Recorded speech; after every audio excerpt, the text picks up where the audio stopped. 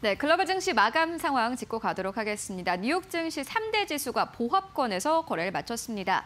다우존스 지수 0.24% 하락하면서 거래를 마쳤고요. S&P 500 지수 0.21%, 그리고 나스닥 지수는 0.03% 약보합권에서 거래를 마쳤습니다.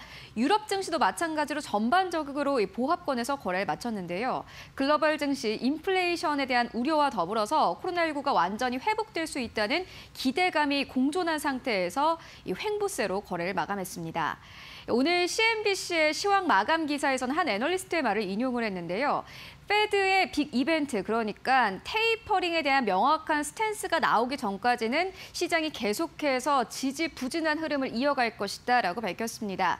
이 Fed 측에서 인플레이션 그리고 tapering에 대한 장기적인 전망이 명확해질 때까지는 이런 움직임을 계속해서 예상을 하고 시장에 대응해야 한다라고 밝혔는데요. 하지만 이런 시장에 서도 이슈에 따라서 움직임이 분명한 종목들도 있었습니다. 어떤 종목도 있었는지 첫 번째 종목부터 만나보시죠. 네, 먼저 첫 번째 종목은 모더나입니다. 모더나가 청소년에게도 백신이 효과가 있다라는 뉴스가 있었습니다. 12세부터 17세까지 백신이 100%의 예방 효과가 나타났다라고 밝혔는데요. 이와 함께 모더나 측에서는 6월에 FDA에 청소년 백신을 긴급 승인 신청을 할 것이다라고 밝혔습니다. 최근 모더나는 160 그때 160달러 선에서 거래가 계속해서 되고 있었는데 특히나 긍정적인 뉴스가 나올 때에는 180달러를 넘어서기도 했습니다. 이와 함께 한 애널리스트는 이 모더나의 매출이 증대될 것이며 7월에는 모더나의 주가가 종가 기준으로 190달러 선을 넘어설 것이다라고 밝혔습니다. 오늘 모더나는 3% 넘게 상승하면서 169달러 선에서 거래를 마감했습니다. 네, 이어서 두 번째 종목 만나보도록 하겠습니다. 자연스럽게 경제 재개와 관련된 종목이 움직였는데요. 이 JP 모건 측에서는 골드만삭스와 이 JP 모건 측에서는 쉐이크쉑의 이 투자 의견을 상향 조정했습니다. 이와 함께 오늘 이 시장에서 큰 폭의 상승 흐름을 보였는데요.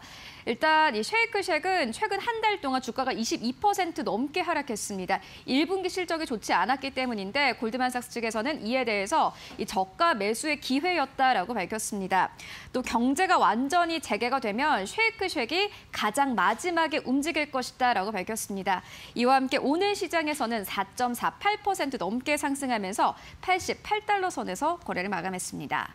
네, 이어서 세 번째 종목 만나보도록 하겠습니다. 코인베이스입니다. 역시나 마찬가지로 연이어서 목표 주가 상향 조정 리포트가 나오고 있습니다. 일단 골드만삭스 측에서는 이 코인베이스가 30% 넘는 상승 잠재력이 있다라고 밝혔습니다. 목표 주가를 306달러 선에서 306달러 선으로 이 target price를 제시를 했는데요. 특히나 코인 가격의 급락과는 영향이 작고 수익성이 높은 사업이 많다라고 밝혔습니다. 이와 함께 간밤 시장에서 7%가 넘게 상승했습니다. 242달러 선에서 거래를 마쳤습니다. 네, 이어서 네 번째 종목 만나보도록 하겠습니다. 아마존인데요. 일단 아마존 측은 이 워싱턴 DC 검찰의 반독점 위반으로 피소를 당했다라는 뉴스가 있었습니다. 아마존이 부당하게 가격을 인상했고 이것이 혁신을 억압한다라고 이 검찰 측에서는 밝혔는데요. 이와 함께 장중에는 1% 넘게 하락을 하기도 했지만 저가 매수가 들어오면서 0.4%의 강보합으로 거래를 마쳤고 3,259달러 선에서 거래를 마쳤습니다.